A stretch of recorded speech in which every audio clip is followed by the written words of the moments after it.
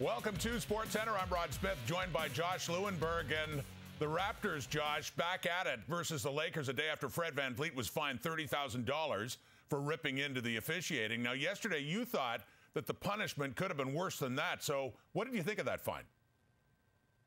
Well, he's got, he got his money's worth and then some. I know a lot of people expected it to be a larger fine. I mean, typically 35K is the high end for fines like this, and that's exactly what Paul George got a couple years ago for criticism of the officials. But he didn't curse, he didn't mention an official by name, and the comments from PG paled in comparison to what we heard from VanVleet a couple days ago. Of course, those words were really strong. So, yeah, I expected it to be closer to 50K, which is the max that the league can fine a player for this infraction.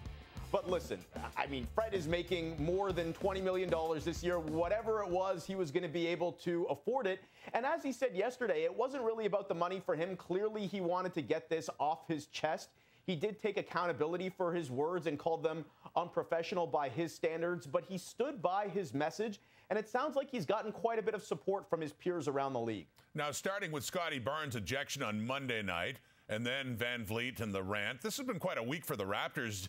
Do you think all this drama might carry on to the floor and impact their play tonight?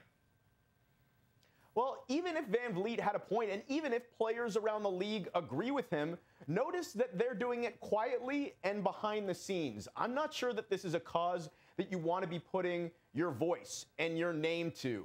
I'm not saying that there's a target on his back necessarily, but let's put it like this. And you mentioned it, Rod. The last couple games, the story has been Raptors versus referees. And I promise you that the crew for tonight they know about that. They're aware of it. And I'm sure they're going to be paying close attention to VanVleet and to the Raptors. So hopefully, the lesson that the Raptors can take from all of this is that they've got to keep their composure and maintain their focus when the calls inevitably don't go their way, if and when the calls don't go their way.